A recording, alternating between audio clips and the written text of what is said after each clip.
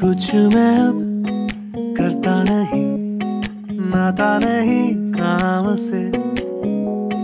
जब से मैंने पहली दफ़ा देखा तुझे ध्यान से, जो बोली सी हँसी तेरे नैनों में बसी मेरे दिल में उतर जाए रे।